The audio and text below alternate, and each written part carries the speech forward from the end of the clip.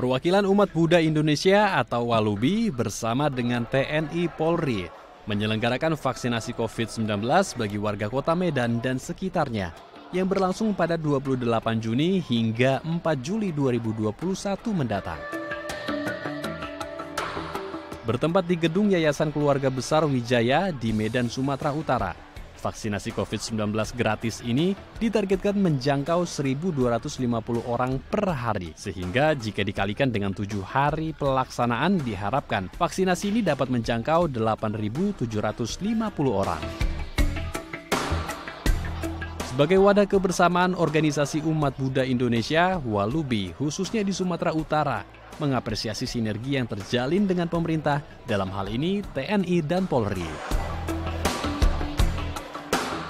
apa yang kita kerjakan tuh kita harus berterima kasih dulu kepada pemerintah khususnya TNI dan Polri karena kita tetap diberi jatah untuk melayani. Tetapi yang melayani tidak hanya kepada umat Buddha sendiri. Nanti seperti Anda lihat itu dari berbagai suku, berbagai agama kita ikutkan semua. Lewat program nasional serbuan vaksin COVID-19 dari TNI dan Polri, diharapkan pemerintah dapat mensosialisasikan dan mempercepat proses vaksin nasional.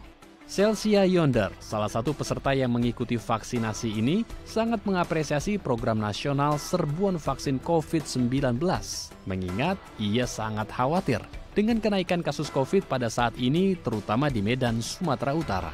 Wah, deg-degan ya, tapi mau gimana lah ya, namanya virus ya kita harus lawan dengan vaksin juga ya. Karena pertama saya lihat di kota Medan ini di Indonesia ini e, makin lama makin virus makin menyebar makin menyebar makin banyak. Jadi mau nggak mau e, ya ikutlah program pemerintah dengan vaksin. E, bagus sih karena vaksin itu memang sudah diperlukan oleh warga Indonesia. Jadi kita nggak susah-susah nggak untuk mencari vaksin di mana-mana. Perlu upaya bersama dari berbagai lapisan masyarakat untuk percepatan target vaksinasi nasional demi mencapai kekebalan kelompok. Grace Colin, Dita Ramayani, Daai TV.